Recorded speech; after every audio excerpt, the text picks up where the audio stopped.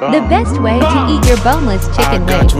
Get plain boneless wings and all your favorite sauces on the side. Dip any of your wings in one sauce. Then dip in another sauce.